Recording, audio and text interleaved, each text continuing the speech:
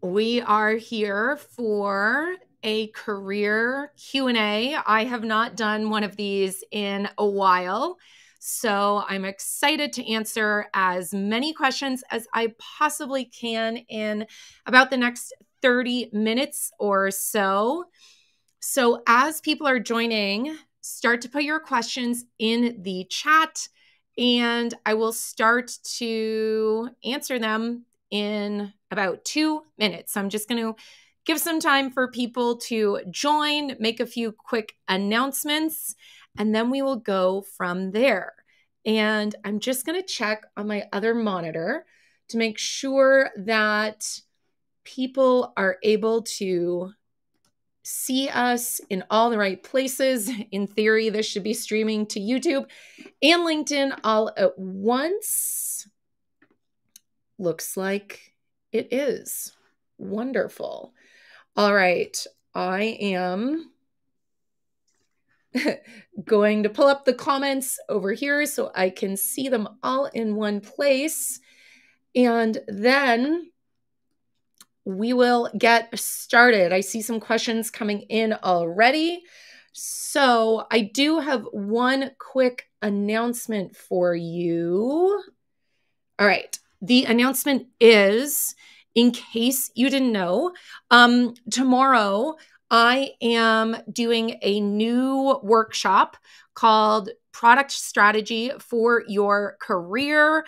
Um, I'm really excited about this. Every time I show my team new slides for this workshop, they are so excited and freak out because um, the things we're going to teach uh, are going to be really, really helpful in helping you think of your career and you as a product. Kind of ironic. So that's what we'll be doing tomorrow. And tomorrow we will also be launching the details of what we're calling Career Strategy Lab 2.0. Career Strategy Lab is the career coaching incubator that I run, which is really designed to help you design a career that allows you to live your dream life, whatever that looks like. So that's what we'll be doing tomorrow. After that workshop, I really hope that you kind of leave with a strategic plan for how to reach your short and long term career goals, whether that might mean growing your confidence, um, building more strategic relationships, maybe having more clarity about what skills you need to focus on developing in the short and long term, or maybe even, of course, landing a new job if that is something that is on your radar right now. But how do you join this workshop tomorrow? I'm going to put it in the chat here. So give me a second to do that. Um, you have to RSVP though. So I'm putting it there and I will put it in the other, in the YouTube comments as well, which goes over here. All right. And there we go. So you have to RSVP. Otherwise, you can't come. Um, all right. So that is what we are going to be doing tomorrow. And let's get to the questions here. All right. So I'm going to kind of try and curate some of them here. So let's start um, at the beginning. Angela. Angela wants to know what is the difference between UX designer and product designer? And I think if we asked multiple different people, we very well could get multiple different answers. Angela, I think you're probably asking this because you see job titles um, change from company to company, right? Some job titles might say UX designer, product designer, UX UI designer, etc. Um, I think the job title and role, product designer, um, we're seeing that a little bit more frequently, it seems like, because I think there can be this assumption, and notice I'm saying can, right? There can be this assumption that UX people may be more designer like, let's say, versus the product designer might be more well versed in things beyond design, whether that might be product management, product strategy, more experience with um, business type things like business analysis or collaborating with other departments. And yes, I'm somewhat speaking in generalizations, but I think the product designer job title and when I actually read the job descriptions, the vibe I'm getting is that they're looking for someone who can't just move stuff around on the screen and work in Figma or whatever software is popular this week, but they can hop into meetings with stakeholders from other departments, be given a bunch of research or business data, and they could hit the ground running. They wouldn't be intimidated and not be able to, you know, look through data or analytics and stuff and be intimidated. So, Angela, I'm curious if that answers your question or at least helps you start to think about those differences a little more clearly. Like I said, I think that we ask multiple people, we're going to get multiple different answers. But that is my kind of quick take on that question. So let me know what you think. I'm just going to see there's no really easy way for me to see your replies here. Maybe if you can go back to your original question, that would be a good way to do it.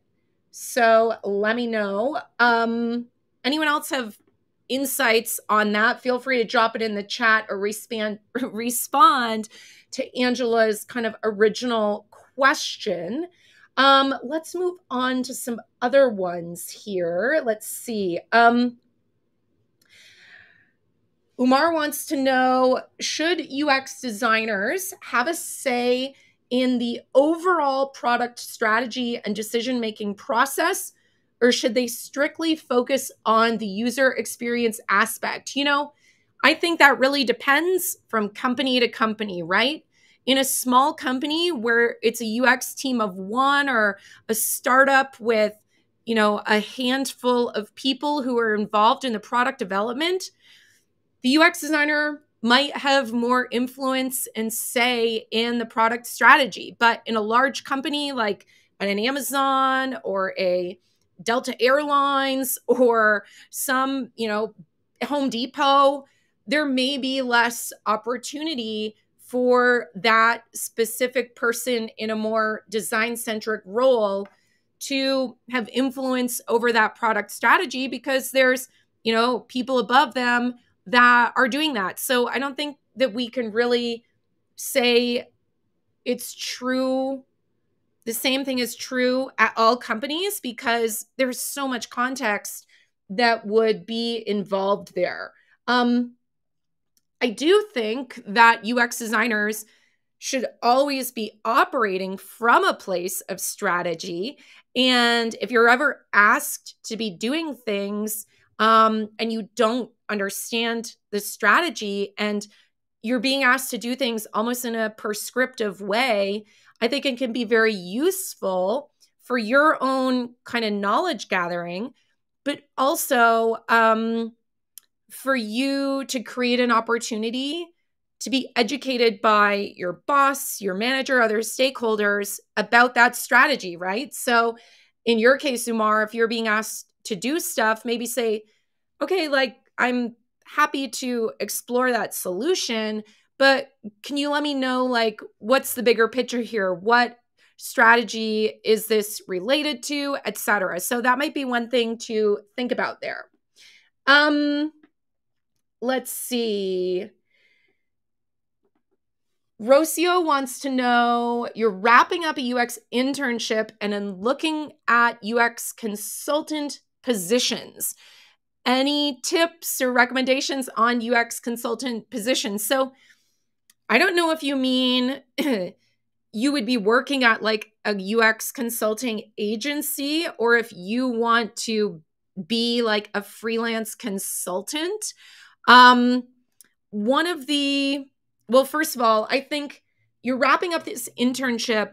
So I think there are a lot of benefits in going into UX consulting, whether that means you're going to go work at like a UX agency or you are going to take on your own clients because when you are earlier in your career, it can be very strategic to try and expose yourself to many different types of products and many different types of industries. So, in doing this, you are going to be able to test the waters, and maybe one project you're working on is in healthcare. And two months from now, you're working on a finance project. And in December, you're working on something in travel, for example. Those are all really awesome opportunities to find out if you maybe gravitate towards certain industries or certain types of products. Like maybe you realize after consulting for 12 months, you are really drawn to enterprise products versus consumer products or vice versa. So, hopefully that answers your question. And I guess to follow up, if you are thinking of going the consulting route where you know you would be operating as a, an entity and you are freelancing um, i think the, the most important thing you need to do is make sure you have a solid contract and we don't have time to go into the details of creating contracts and proposals and things like that but very, very, very important. Otherwise, um, that relationship can get very confusing um, very quickly, and people can be taken advantage of, and that's no fun. So make sure you and you want to make sure you get paid too, right? So those are my super quick tips on that. Um, let's see what else we have. Okay, we answered Nikki. Let's see. And you guys vote on each other's questions, like give the questions a thumbs up or something so I can kind of prioritize the ones that seem to be applicable to lots of different people here.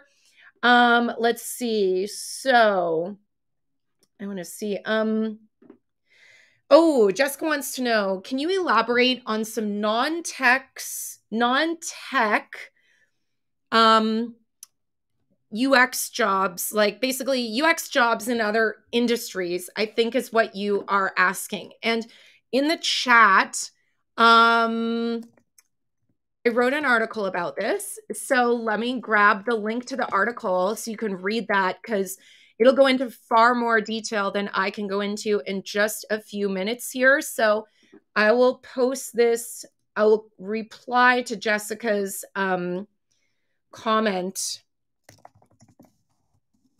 second.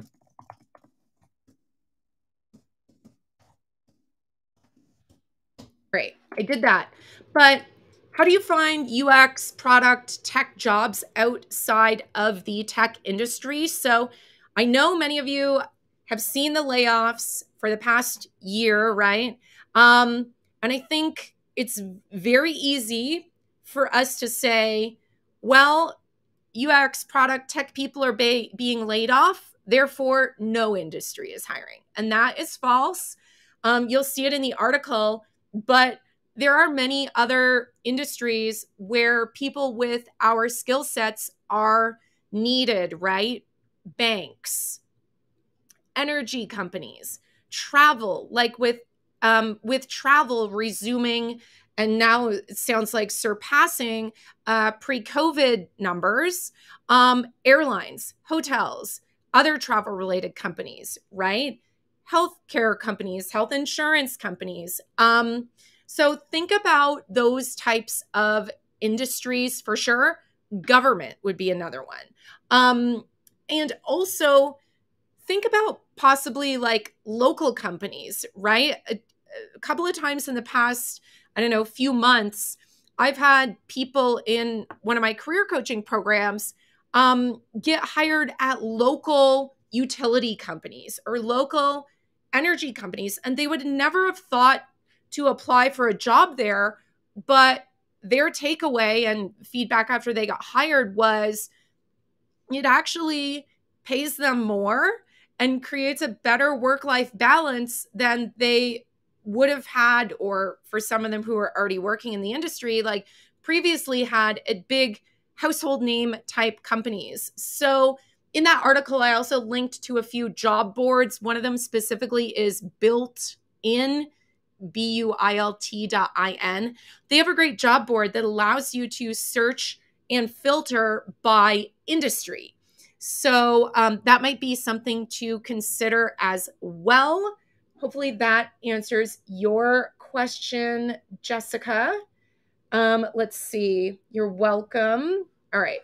We uh gonna go back like this. All right. trying to see all the questions with the thumbs up here. Um okay, let's see. I'm gonna go back up, make sure we didn't miss any of them. They have a bunch of thumbs ups. All right. Esteban wants to know Do I think that UX strategy is something that is marketable today? I assume you mean like in terms of skills that you have and trying to market those skills to potential employers, whether that's your short term job search or your long term career goals. But yeah, I think UX strategy is super, super important.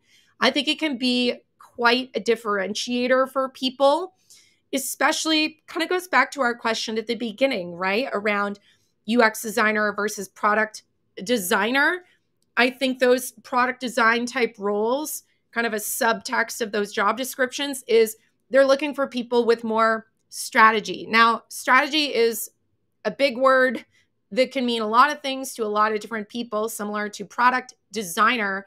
But I think the the heart of it is really that you are thinking beyond a screen that you're moving elements and components around on that screen and rearranging them and user flows and things. And you're thinking not just for example not just about the product you are building or the app that you are building but you're also thinking about like okay well how might these changes in the product impact impact sales or what could we do with the marketing team to get more people aware of this app? Um, what can we do to like the logged out version of the homepage, for example, to maybe be more effective from a marketing perspective to then get people to sign up to do a free trial to maybe eventually become a customer. So it's not just about like the design and everything related to perfect pixels. It's about understanding how that design designed product fits in and plays with the marketing, the sales, the acquisition, etc. So, yeah, I think strategy super super important and I think to be good at strategy requires that you have experience with and awareness of those other kind of departments and areas in a business. Um, we could talk about strategy for so much longer, but hopefully that gives you kind of a very high level, high level answer. And I think too, strategy is something that a lot of candidates lack today, especially candidates that are earlier in their career or transitioning into UX, you know, from another industry because there can be such a hyper focus in the world of UX education on just like memorizing processes and using software and following this proverbial like perfect UX process or double diamond process or whatever you want to call it.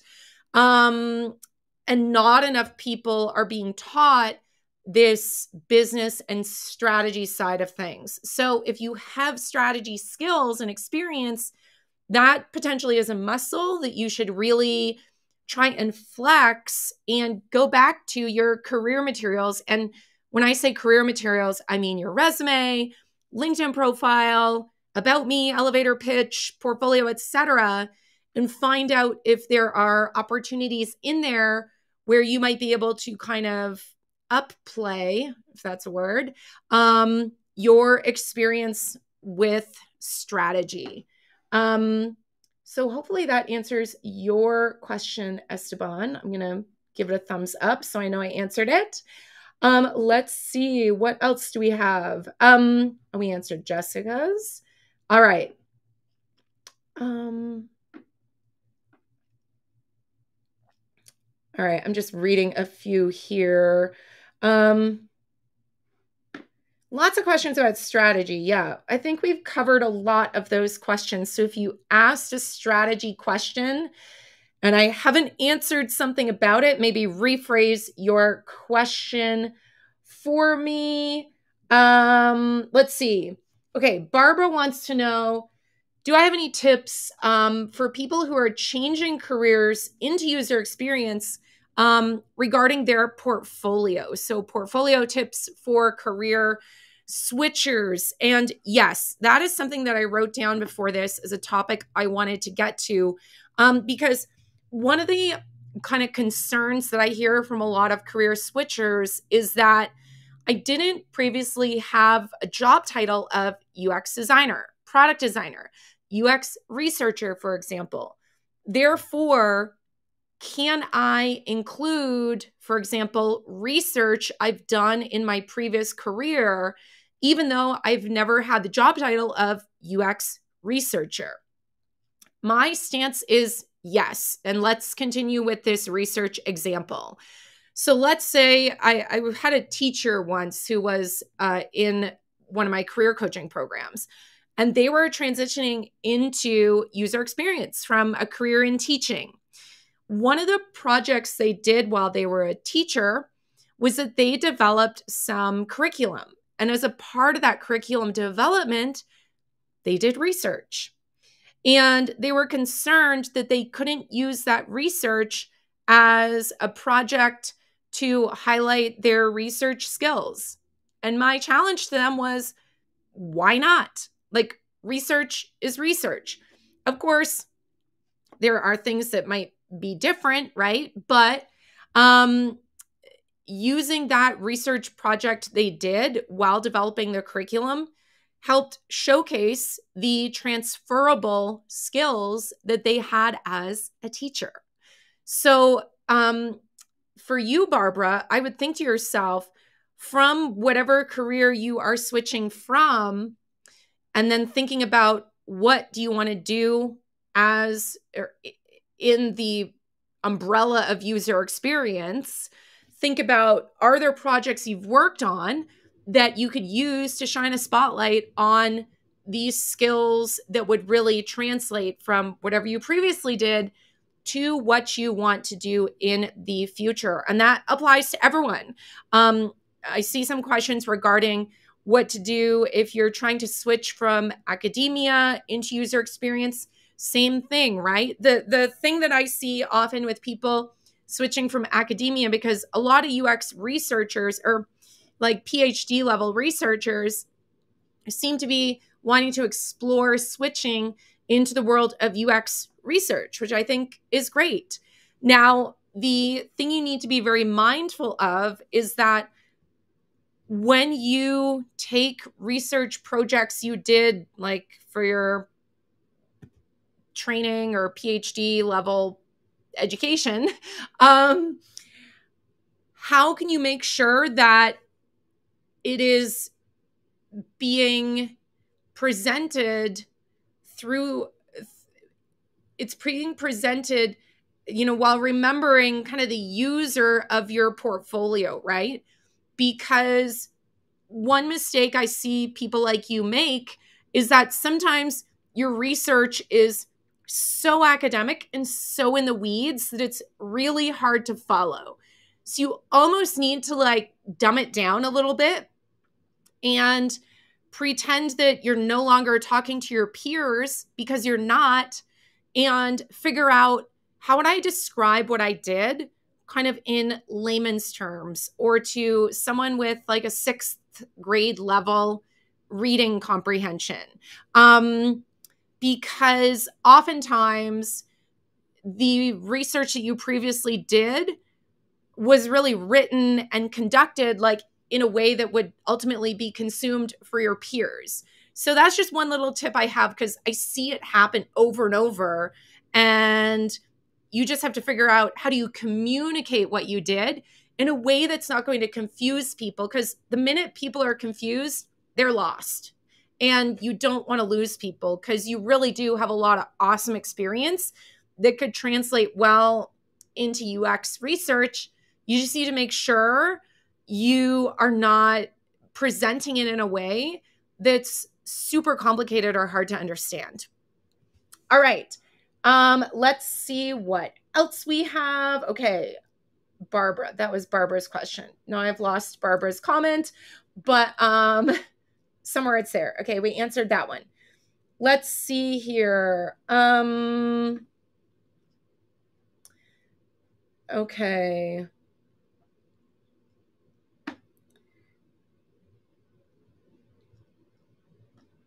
Let's see what else. Oh, you're welcome. Okay. Barbara said that answered her question. Awesome. Okay. I'm going to see what other questions there are. Okay. Oh, I like this one. Okay. Sarah says Is it a bad idea to try and market yourself as a UX researcher and a UX designer? I've been told yes and no.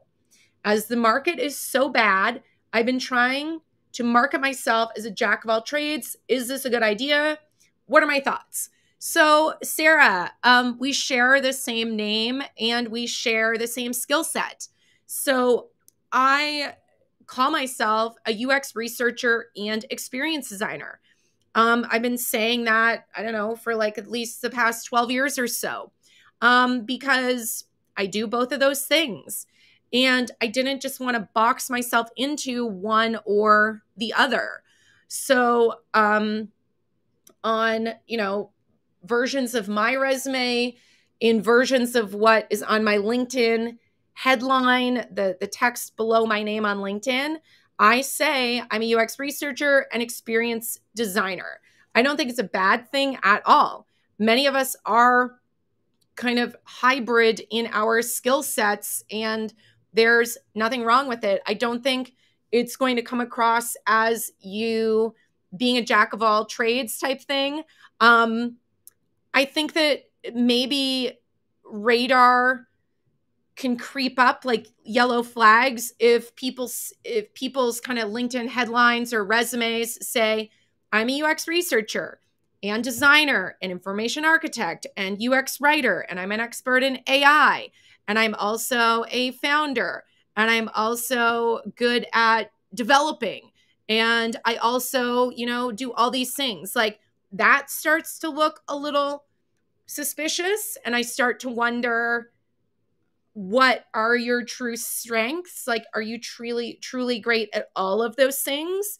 Um so be careful of that. But Sarah, I do think there's nothing wrong with saying you're a UX researcher and a designer. Totally acceptable.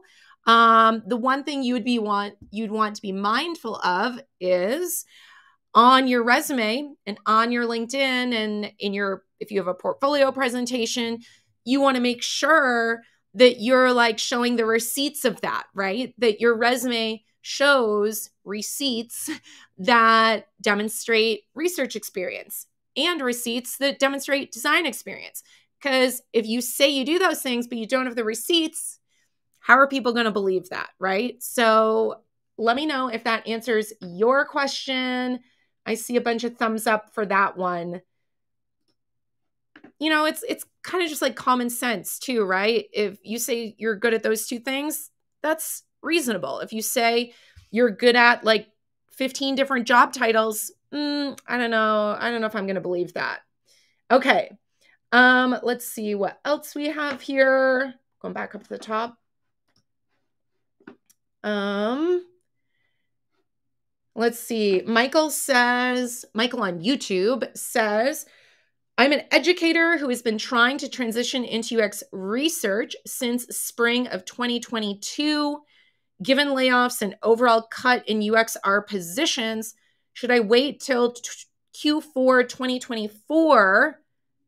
Oh, Q4 of 2023 or wait until January 2024 before jumping back into applying. So, um, Michael, I think that, and we answered this a little earlier, but maybe broaden the companies and industries you're applying to. I don't know where you're applying right now, but based on what I said earlier about like just because you're seeing all the big um, household name type companies do layoffs doesn't mean companies you've never heard of aren't hiring. Does that mean you're going to have to put a little bit of more effort into maybe finding these companies that you've never heard of? Yes. But I don't think that it's necessary to completely pause your job search right now because you're kind of making a generalization that there's no jobs. Um, so that's going to like reframe number one. Reframe number two for you is you're switching into user experience from a previous career in education. Something really strategic you could do would be to think to yourself and go find companies that are in the education industry or have education related products and experiment with applying to them. And the strategy of that is that if you, Michael, with let's say 10 years of education experience, apply to a UX researcher job at a company in the education space and someone else applies who has zero user experience in the education space, guess which candidate might stand out more, right? You. Because you are not going to need to spend time getting ramped up on education related knowledge that might be beneficial to the job. So, you know, be strategic about that. Think about the Udemy's, the Coursera's, the Khan Academies, even companies like masterclass.com, um, software that powers online learning, such as Teachable or Kajabi or Maven.com. Those could be really strategic companies to keep in mind. And um, I really don't think you should hit pause on your job search, though. I think it just means you need to be more strategic about where you are applying. Um, all right, Michael, hopefully that answers your question. Um, let's see what else we have here. I just want to check one little thing. Make sure we're getting our questions off YouTube. Looks like we are. Okay. Um Oh, the questions disappeared. All right. Um, let's see. We answered that one. Jessica wants to know if someone is transitioning into, you know, the world of UX from a design related field like architecture, are junior roles the best fit? Um, I really think it depends. And I know it's frustrating when I give answers that start with it depends, but it truly does. I think that um, the thing to remember with job descriptions is that they are a wish list. And think of the criteria on job descriptions like guardrails. Like it is not a set of requirements, and you must check every box in order to apply for a job. Um, I see a lot of people make assumptions that if the job description says you must have three years of experience and you have one or two, they won't apply.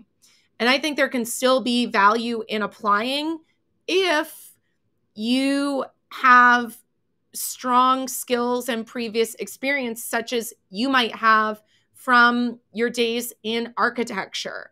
So I wouldn't let the job description kind of serve as this checklist, which it sounds like maybe you might be doing. Um, but I don't think you necessarily need to be starting from, you know, ground zero in terms of level, but it also just it depends on the size of the company, right? Larger companies have more strict rules um, around kind of the like designer one, designer two, designer three, for example, and what each of those means. And that's attached to pay grade. So there might be less kind of wiggle room there.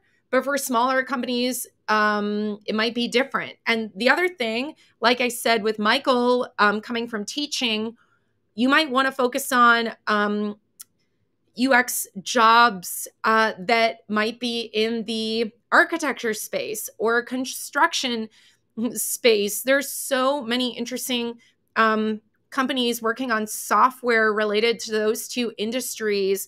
You know, I even think of like havenly.com, um, those kind of virtual design my do the interior design of my room type products. Maybe there's opportunities there. So get creative, Jessica, about where you're looking for jobs because that might, that architecture experience might give you an edge if you're applying to jobs in the architecture, construction, building, design, interior design type spaces. Um, okay, I cannot believe we've already been at this for 40 minutes.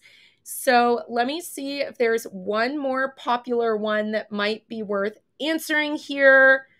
And then um, I got to get going because I have a full day ahead of me. Um, let me see here. Okay, we answered those. We answered those. I want to make sure I'm paying attention to the YouTube people. Let me see. Okay, we answered that one. Mm, you're welcome, Michael. Um, okay, this one from YouTube. All right, as a career changer, what would be the most important aspect that the employer will see on my portfolio? You're currently taking a boot camp and worried your portfolio is not as good as other candidates. So, you're a career changer, similar to what I said to other people. If you have things you've worked on in your previous career that after listening to the Q&A today, you've realized, "Oh wow, that research project I did as a teacher, I could use that as a research project in my portfolio." That would be great. I think if you have opportunities to take real world projects you've worked on, in addition to potentially projects that you work on during your boot camp, that can be great. The reason is a lot of projects that come out of boot camps look the same. And it's not your fault. This is how the boot camps teach you to present them.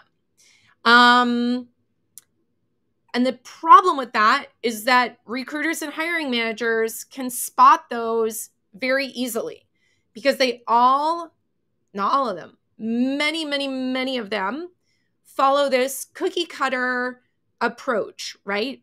Design, develop, diverge, converge, etc. Um, they all just sound the same. And it makes people question kind of your understanding of what you learned, right? Are you just like Mad Lib style creating a portfolio? Or do you have deeper insights? How well have you grasped what you learned? So, real world projects are very important because they also allow you to talk about like what didn't work in the project. What problems did you encounter? This is another one of the challenges with projects that come out of boot camps is that they're done in a vacuum, in a silo where there are no stakeholders emailing you at one in the morning saying, like, we're going to change this, this, and this, and that's what we're going to do. Or we're pulling the budget on this, and now you have two weeks to complete it versus two months. So, for things you've worked on in the past, highlight what didn't work well, what didn't go well, because there's no shame in talking about the reality of a project because that's the real world. And that can also help you stand out. I've spoken to enough recruiters and hiring managers to know that when they see these, you know, perfect style projects presented, um, it leaves them wondering, yeah, that's nice, but tell me about the time that you had to do it in half the time or with half the budget or half the requirements got changed at the ninth hour. Um, so hopefully that gives you some ideas. Um, let's see what other comments do we have here. Um, yes, highlight your process, the steps you went through, your solution. Don't just focus on deliverables, right? It's not like next I made a survey, then I did some research. It's not just what you did. We have to also say, why did you do that research method? How did you find those people? Why did you decide you wanted to talk to those specific people in in research versus these other people? And what did you learn as a result of that research? So it's not just about the what you did, it's not just about the deliverable, it's about how you did it, why you did it, what happened, what how did what you did inform the next step in the process? Did it make you realize you had to go back 3 steps and repeat the research or research a different topic, right? So exactly. Um all right, I truly have to go now. This was fun. I haven't done one of these Q&As in a while, so I'm planning to do more of them in the future.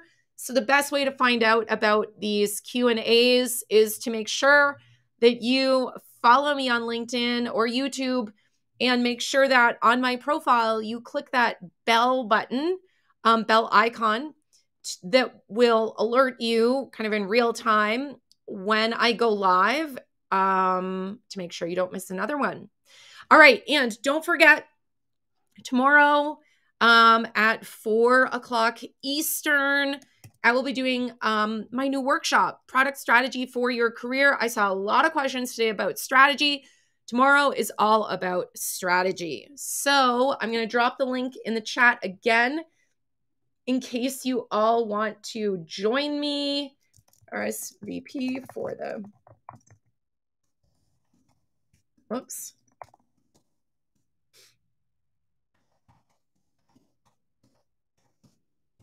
I think I spelled that right. All right, there it is. I'll put that on YouTube also. And um, I think that's all for a day. Also, if you have friends, colleagues, whomever that you think would be interested in this Q&A, um, send them the link or just mention them in a comment and then they'll be right like on this event and they can hear all the answers to your awesome questions today. Um, all right, everyone. Thank you for hanging out. I see a bunch of you RSVP'd for tomorrow. So we're going to go through and send out um, the official invites later this afternoon.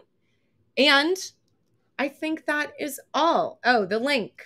Jennifer, I will put it right there for you. I'm going to leave this open for about another minute just in case there's any kind of last questions regarding tomorrow. I'm not answering any more real time questions, but you guys can't see the link. I'm putting it on, I'm putting it in the LinkedIn chat right now. So I'll say it out loud. If you just go to career strategy lab dot com slash party p-a-r-t-y that's like um, a short link that we created so you can either click on the one i put in the chat in the comments i should say or career strategy lab.com slash party it's so really weird jennifer i'm gonna reply to you well i replied do you see it give it a thumbs up or something. This is very bizarre.